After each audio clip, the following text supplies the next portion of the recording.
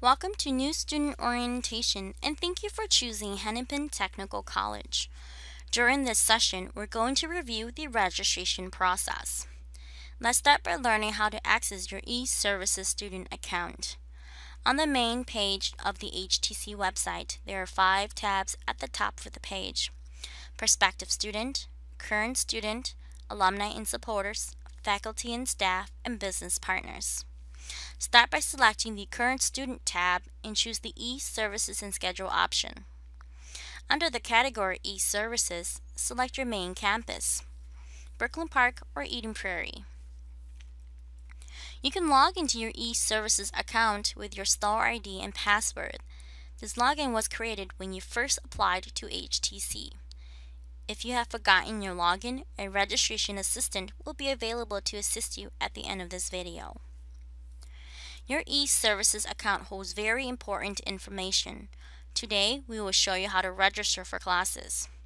Other options you may like to explore includes grades and transcripts, financial aid, and bills and payments. If you have questions regarding any of these options, please feel free to ask a registration assistant after the video concludes. Before you continue with the registration process, please review the online registration agreement. Remember, you are responsible for all tuition and charges resulting from your registration at HTC. You are agreeing to meet payment due dates established by the college. Failure to pay by the tuition deadline may result in course cancellation due to non-payment.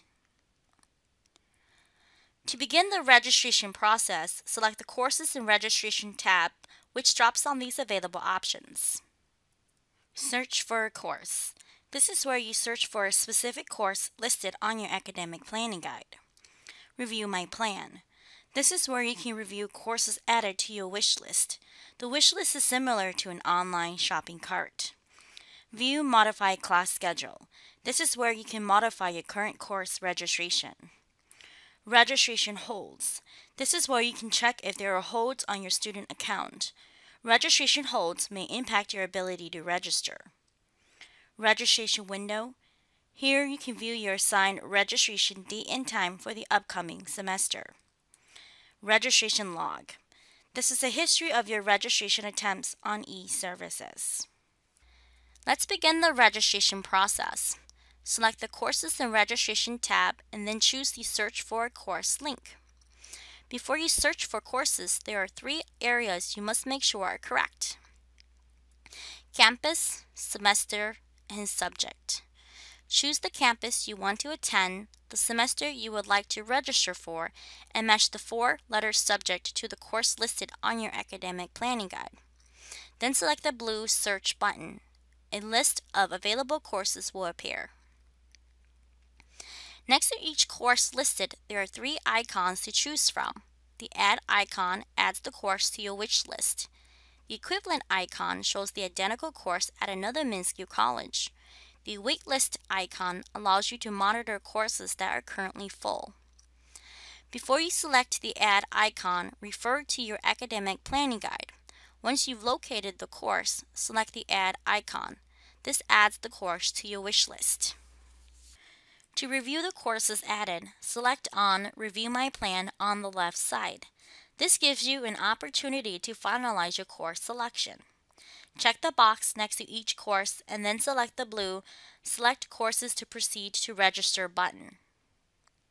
Please make sure to review the online registration agreement again. Once you've read through the agreement, enter your Star ID password and select the Register button. By confirming your registration, you are accepting any financial and academic obligations. A registration successful message appears if your transaction processed. If you see a registration failed message, please ask a registration assistant for help. Once your schedule is verified, select on View Modify Schedule on the left side. To print a copy of your schedule, select the printable schedule link in the upper right corner of your registration window. Please make sure to pick up the copy of your schedule at a nearby printer. Congratulations! You are now registered for your classes. We hope you have a great semester at HTC.